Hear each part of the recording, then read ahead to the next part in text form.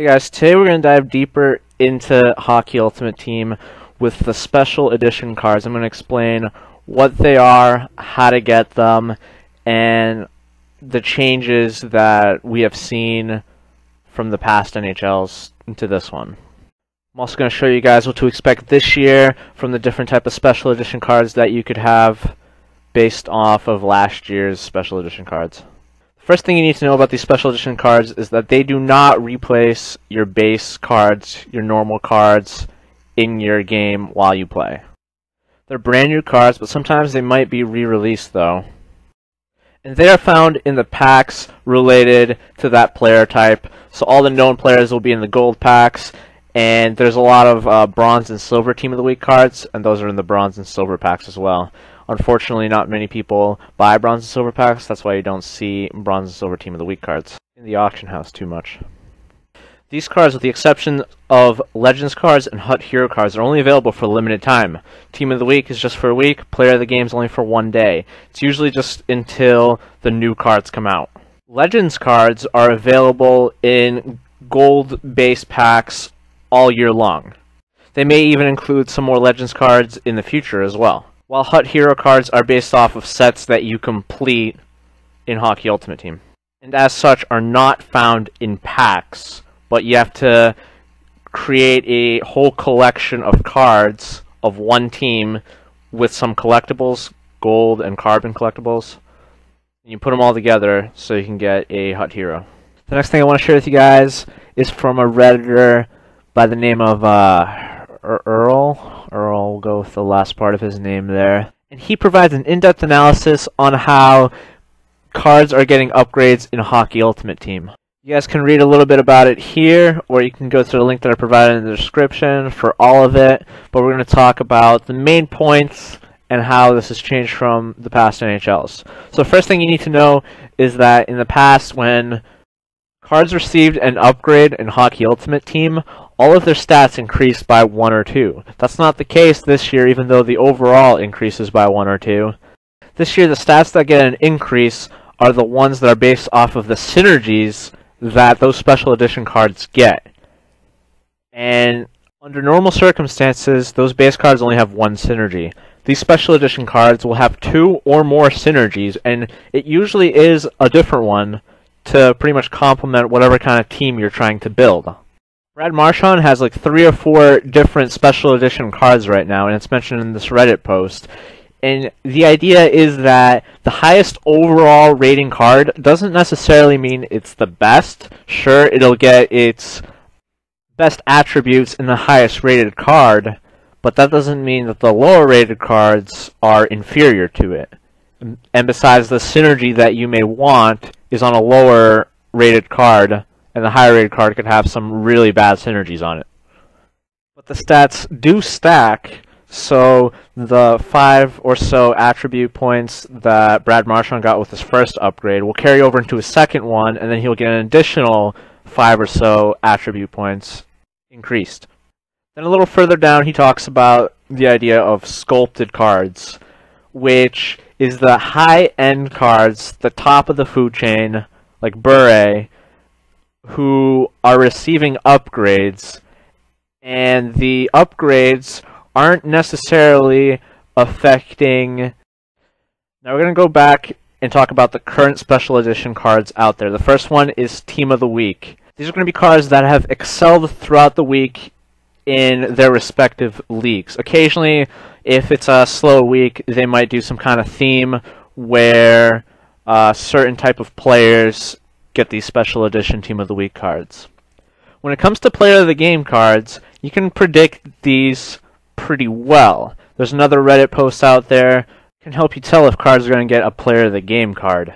And the last requirement is that that person's team must also win for them to get the Player of the Game card.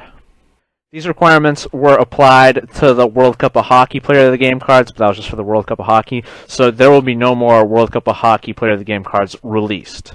Milestone cards are released whenever a player either breaks a record or reaches a certain milestone in their career. Players will receive milestone cards when they reach a certain amount of games played, goals, assists, points, They're usually in in like groups of 100. Another way that milestone cards could be released is if they reach a certain position on the all-time stats leaderboards. So someone like Jagr, he's currently third in the number of points that he has, and he's closing in on Mark Messier. So you can expect him to get a milestone card when that happens. The next special edition cards are draft champions cards, and right now, for some reason, they're untradeable but still show up on the auction house. Not sure what that's about. But the way that you get draft champions players is you play the game mode draft champions, and every time you win, you get one draft champions collectible. When you amass 50 or 100 collectibles, you can trade those in for an untradeable special edition card. Right now, we have Grossmann, Emery, and Malhotra, who have been around since the beginning of NHL 17, but hopefully in the future they'll have uh, different draft champions cards available to you guys.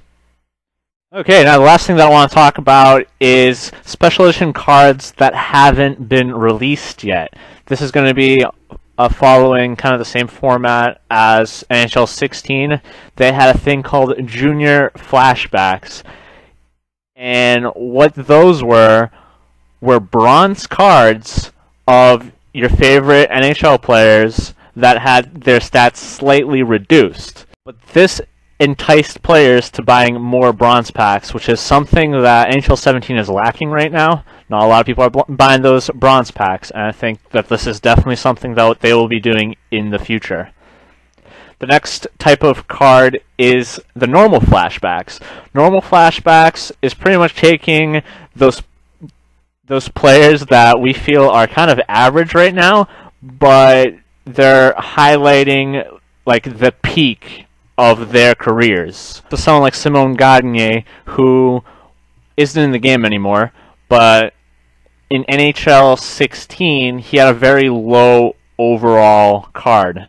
And since he ended up retiring, they decided to commemorate his career by releasing a flashback card where he had some pretty amazing stats. These next set of cards are important. They're the Movember cards. Why are they important? It's because they're choosing players who, when they had their pictures taken, don't even have beards or mustaches. It doesn't doesn't make much sense there. But these cards are amazing. Everyone wants Movember cards because they're cards are dynamic. They'll change over time. Whenever a player is going to receive another upgrade, like a Team of the Week card, so that stats are boosted, Movember cards will automatically update to that player's or to that special edition card. So you might buy a Movember card that's 90 overall, but by the end of the year has the potential to be a 99 overall card. Something that a lot of people do before these Movember cards are released is buy a lot of packs and just save them for later. Because when you open packs, the cards that are inside are based on the special edition cards that were released at the time that you open them. Finally, the last type of card that we know for sure is going to come out is Team of the Year cards, and they're just the capstones at the end of the, the uh, season. These will be released with the highest overall that that player pretty much has and they usually won't release any other cards afterwards based on that player's performance. At this point of the year, then they kind of just like fool around with different uh, team of the week like setups and releases. But these two should be updated over time at the end of the year. They're also going to be the most expensive cards that you'll get, and they'll probably have a ton of synergies on them, but that's that's a while from now. So that's going to end the video. If you guys have any other kind of questions related to special edition cards, please let me know. And I'll see you next time. Thanks for watching.